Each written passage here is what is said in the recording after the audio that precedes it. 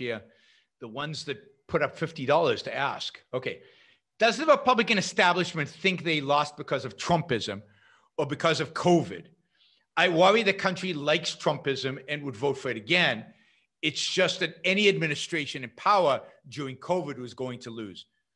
Well, I don't think every administration in power over COVID was going to lose. I, I think there was plenty of ways administration in power over during COVID could have come out heroes. They could have turned this into a huge success story. They they they they could have, you know, they could have stood out in the world as being successful in dealing with COVID. I think Trump, because he was Trump, partially because he's Trump, uh, failed at COVID. Uh, you know, he failed in dramatic fashion. He failed both operationally, managerially, and in, a, in his communication. Even, even when some of the things he was saying about COVID were true, he, he communicated it badly. But the broader question is um, the broader question is is the country a Trumpist country in terms of everything else that Trump stands for? And I think to a large extent the answer is yes. Um, I think that the country supports tariffs. I think that the country wants more central planning, not less, while at the same time pretending that they're pro-capitalism. I think I think most of the country is on that issue right of center. I think the country is fed up with politicians and fed up with elites and fed up with the intellectuals. They feel betrayed by the intellectuals. They feel betrayed by the elites. So the country's fed up with what, uh, you know, what Trump called the swamp. Um, I think on, I, th- I, think the country's basically anti-capitalist, um, but wants to think of themselves as pro-capitalist. That's the left of center. They're not really left of center. That's the the centrists, right? Um, I think they are troubled. A, a, big chunk of the country is troubled by uh, hates the left and hates the the particularly the far left, and um, is willing to vote pretty much for anybody if they think the far left is going to take control. So yes, I very much think that Trumpism is alive and well. Um, the country is also, I think, tired of ideology. So think of uh, the ideologies that they're exposed to. They're exposed to socialism, which they despise, and they're exposed to conservatism, which is an empty suit and they know it and it's always failed and it's always brought nothing so they liked i think people liked trump's pragmatism Frank's, uh, trump's non-committal to principles. I, I, think what they didn't like is trump.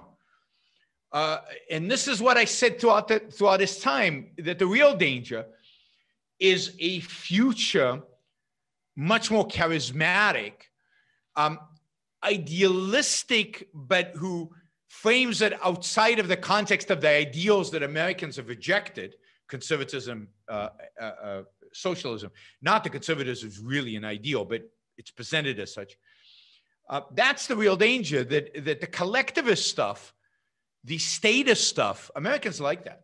Americans want that. I mean, what was unpopular that Trump did in terms of actual policies? Very little in terms of actual stuff that was unpopular.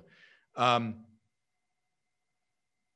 I mean, uh, yeah, I think what was mostly unpopular was Trump, was his character and and and and the way he the way he held himself and the way he spoke and the and in his attitude. So yes, I'm very worried about um, uh, the continuation of Trump's more statist and more collectivist policies. I think uh, they have a home on the right, and they will it will only become a bigger and stronger home. Unfortunately, I don't see any movement out there for more free markets uh, among Republicans. It's just I don't think that even exists. Right. Um, let's see. What we need today, what I call the new intellectual, would be any man or woman who is willing to think. Meaning, any man or woman who knows that man's life must be guided by reason, by the intellect, not by feelings, wishes, whims, or mystic revelations. Any man or woman who values his life and who does not give, want to give in to today's cult of despair, cynicism, and impotence, and does not intend to give up the world to the dark ages and to the rule of the collectivist brute. All right, before we go on, reminder please like the show. We, have got 163 live listeners right now, uh, 30 likes. That should be at least 100. I figure at least 100 of you actually like the show. Maybe there are like 60 of the Matthews out there who hate it. But, but at least the people who are liking it, you know, I want to see I want to see a thumbs up. There you go. Start liking it. I want to see that go to 100. All it takes is a click of a, a click of a, a, thing. Whether you're looking at this uh, and, and you know, the likes matter. It, it's not an issue of my ego, it's an issue of the algorithm. The more you like something, the more the algorithm likes it. So, you know, and if you don't like the show, give it a thumbs down. Let's see your actual views being reflected in the likes. But uh, if you like it, don't just sit there, help get the show promoted. Of course, you should also share and uh, you can support the show at yaronbrookshow.com slash support or on Patreon or Subscribestar or Locals uh, and, uh, and show your support for all, for, for, for the work, for the value hopefully you're receiving from this.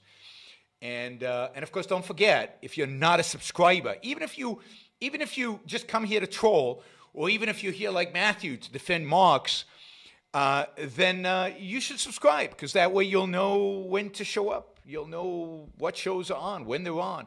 You'll get notified, right? So, um, yes, like, share, subscribe, support. Like, share, subscribe, support. There you go. Easy.